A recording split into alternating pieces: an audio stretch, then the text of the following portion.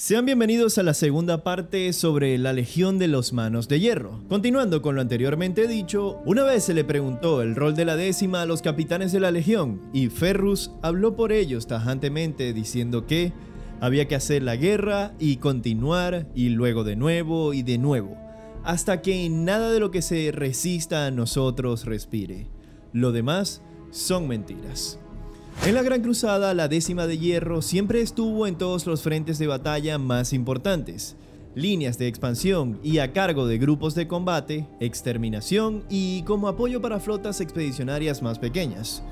Las victorias de los manos de hierro no se podían contar fácilmente, aunque se volvieron sumamente estrechos de criterio y cerrados, y eran bastante recelosos al momento de compartir información de operaciones llevadas a cabo por ellos. En lo que sería la herejía de Horus, la décima de hierro perdió más que todas las otras legiones. En vista de que el señor de la guerra Horus hizo los movimientos de apertura para su rebelión en Isban III, Ferrus Manus, el amigo más cercano y antiguo de Fulgrim, tenía que ser seducido al caos. Horus ordenó a Fulgrim encontrarse con Ferrus y sus manos de hierro en su nave insignia, la Puño de Hierro, con la esperanza de convertir a la décima de hierro al bando de Horus, que ahora servía al caos. Debido a los grandes lazos entre ambas legiones, Fulgrim pensó que podía traer a Ferrus a la rebelión de los traidores. La reunión entre ambos semidioses terminó en una violenta discusión, con Ferrus básicamente inconsciente, y pensando en cómo sus hermanos podían darle siquiera la espalda al emperador. Cuando Fulgrim hubo salido de la sala de reuniones, ordenó a sus tropas de élite a decapitar a todos los Morlock que servían a Ferrus Manus.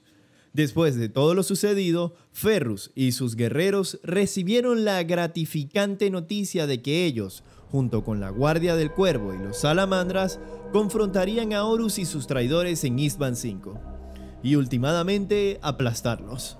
Además, una segunda oleada conformada por los Amos de la Noche, los Guerreros de Hierro y la Legión Alfa les reforzarían después del ataque inicial. La flota imperial había encontrado una manera de orbitar en Isban 5 y las legiones comenzaron el despliegue planetario. La primera oleada estaba bajo el comando de Ferrus Manus, y junto a su legión estaban los salamandras con Vulcan y la Guardia del Cuervo con Corax. Vulcan asaltó el flanco izquierdo de los traidores, mientras que Ferrus Manus y la décima de hierro atacaron directo al centro de los traidores. Corax, por su parte, atacó el flanco derecho de los enemigos. Las posibilidades estaban balanceadas, pues según se dice, había 30.000 astartes traidores contra 40.000 leales. Horus estaba al tanto de la posición donde habían desembarcado los leales y sus tropas rodearon a los leales. Lo que se sabe es que Eastban 5 fue un matadero de proporciones épicas. Guerreros traidores enloquecidos por el odio lucharon contra sus antiguos hermanos de armas en un conflicto de incomparable agriedad para todos. Los todopoderosos titanes caminaron por la superficie y la muerte siguió sus estruendosos pasos. La sangre de héroes y traidores fluyó en ríos, y los encapuchados adeptos del Mechanicum Oscuro desataron perversiones de antigua tecnología prohibida. Alrededor de la depresión de Urgal, cientos morían cada segundo. La promesa certera y oscura de la muerte se cernió sobre cada guerrero Astartes, fuese leal o traidor.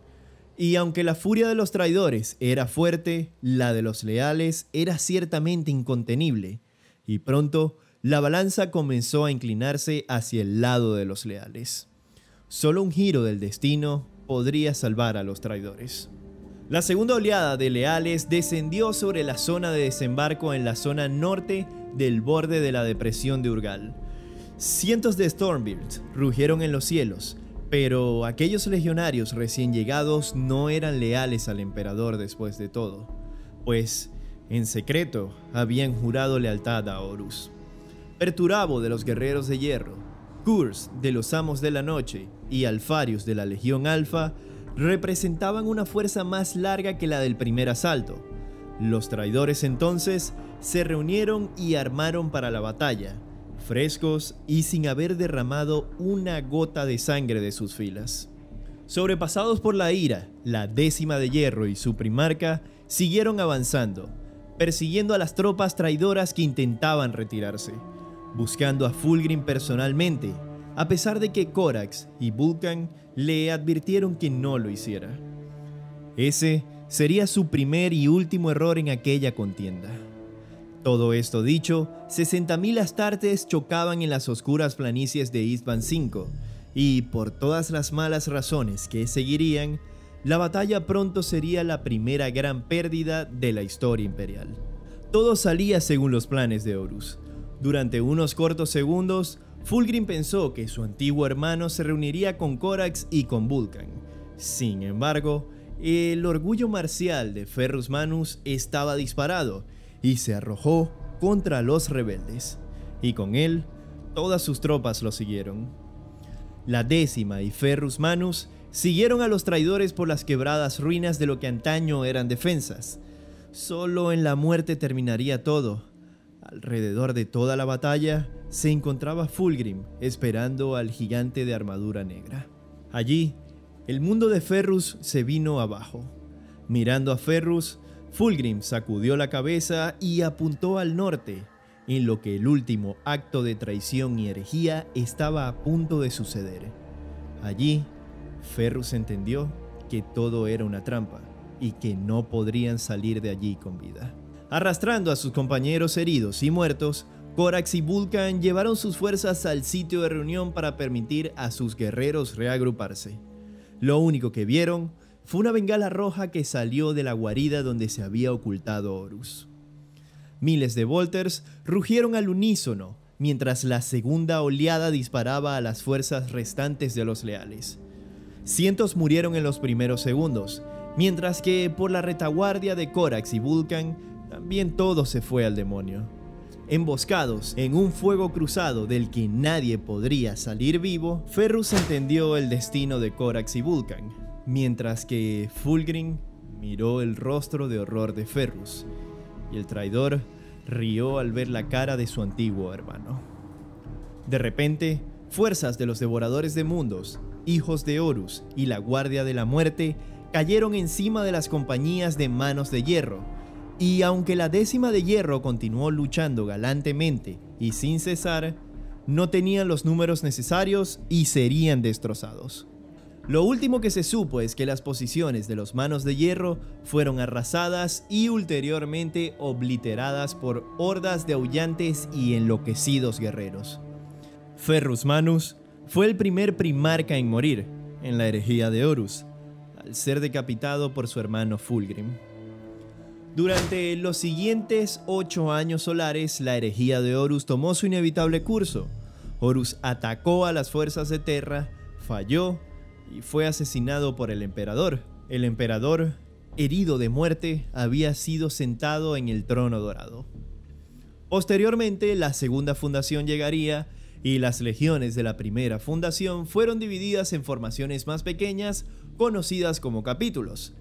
Los clanes sobrevivientes de la décima de hierro fueron divididos entre los manos de hierro, mientras que los capítulos sucesores tomaron nuevos reclutas. Subsecuentemente, la semilla genética de cada capítulo fue aislada por el Adeptus Astartes para crear nuevas líneas genéticas. Los manos de hierro han estado presentes en muchísimos conflictos, pero eso es material para otro video. En la actualidad, los manos de hierro siguen el Codex Astartes, pero nunca a rajatabla. Y actualmente no tienen mucho contacto con sus capítulos sucesores, pues cada vez se han hecho más cerrados. Gracias a la masacre de Isban, las armaduras de exterminador son un poco escasas, pero son alabadas como reliquias. Lo que sí poseen es una gran cantidad de vehículos y tecnología, tanto que tienen sus propias armerías y hangares. Como otros capítulos, los manos de hierro también hacen uso extensivo de los psíquicos. En el milenio 40, los manos de hierro siguen odiando casi igual o más la debilidad. Como consecuencia, todos los integrantes se van amputando partes orgánicas para ir eliminando las impurezas de la carne. En la psique de los manos de hierro, las máquinas son lo ideal. Los manos de hierro siempre avanzan como autómatas, caminando, disparando y en calma total. Y aunque se mueven tranquilos y en silencio, los manos de hierro pueden cambiar sus técnicas de combate rápidamente cuando la situación lo amerita. En muy contadas ocasiones, un mano de hierro pierde el control y abandona su meticulosidad. Y cuando lo hacen, pocas fuerzas en la galaxia pueden detenerlos, pues son 10 milenios de odio, ira y agriedad contenidos. Como dato interesante, a medida que pasa el tiempo, un mano de hierro va odiando más a sus enemigos y detestando más la carne que posee, al punto de que pareciese que se odiasen a sí mismos. Si bien la semilla genética de los manos de hierro es bastante estable, no se sabe de dónde proviene el miedo irracional que sienten hacia la carne, y se cree, de hecho, que es una imperfección de la semilla genética. Este odio o aversión suele ser mitigado amputando miembros y utilizando implantes. Dentro del Mechanicus en Marte hay rumores de que Ferrus estaba al tanto de esta imperfección y que intentaba curarla de algún modo, pero nunca pudo debido a su prematura muerte. Dicho todo lo anterior, los manos de hierro detestan todo tipo de debilidad y tienen políticas de cero tolerancia con ello. Los hermanos de batalla suelen llevar sus actitudes al extremo, hasta el punto de que rechazan abiertamente luchar al lado de la Guardia Imperial, algunas veces incluso entrando en un conflicto con ellos. ¿Qué opinas entonces de la décima de hierro? ¿Crees que su actitud está justificada? Este es el final del video de la décima legión. No sin antes decirte que espero que lo hayas disfrutado escuchando casi tanto como yo narrarlo. Esto ha sido el Rincón de Marco y nos vemos en la próxima ocasión. ¡Chao!